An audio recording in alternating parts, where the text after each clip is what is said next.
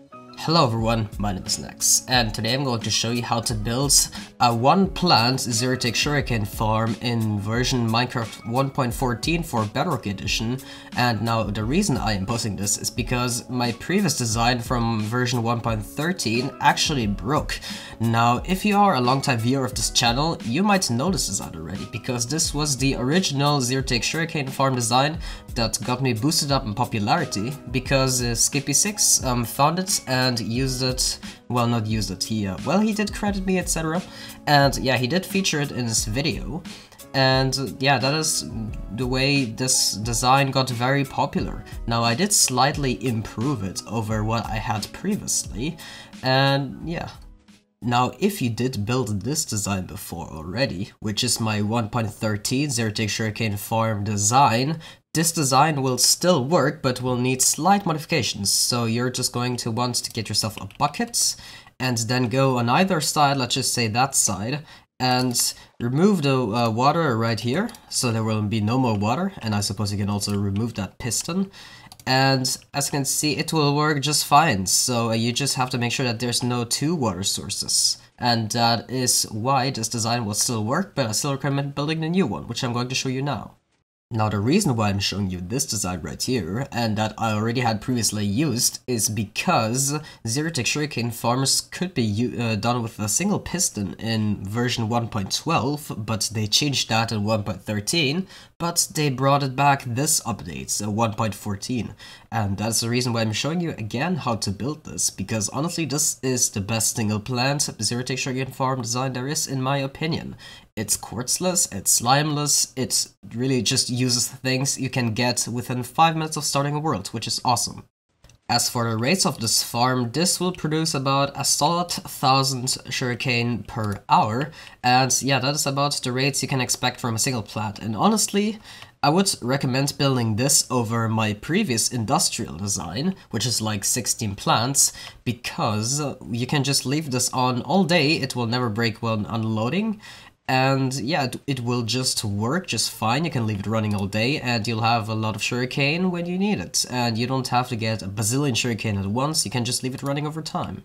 Alright, let's build this thing. Now, those are the materials that you're going to need. Of course, this can be any type of solid block, this can be any type of stair, and this glass right here, it can be solid blocks, but I just chose to take actual glass because it looks nice, and apart from that, the materials are pretty straightforward. Alright, so we're going to start off with one solid block just like this, uh, put some redstone dust on top and elevate one up.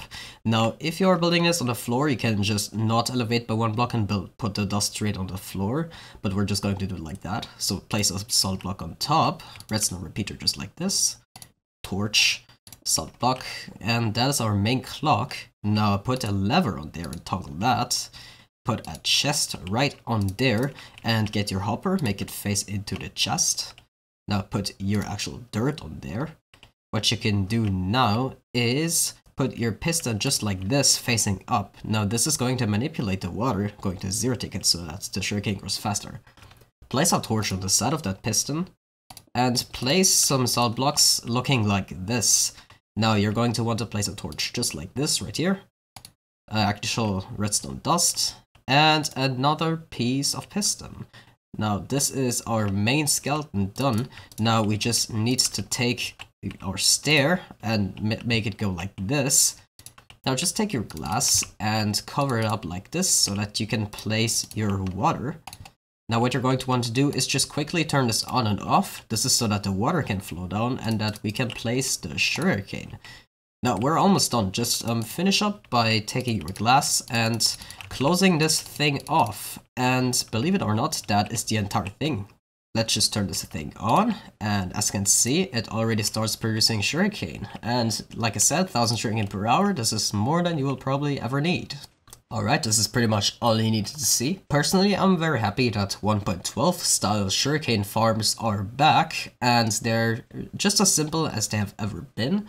And yeah, this is overall, I'd say, the best single plant zero tick sugarcane farm there is. There is really not many ways to actually optimize it or make it any cheaper.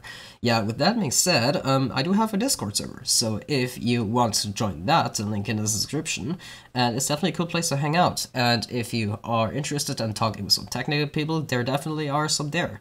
And I also, of course, have a Patreon page where you can support my work. As you can see, I put a ton of work into these types of tutorials, and make sure to also subscribe because I do keep these tutorials coming on a regular basis.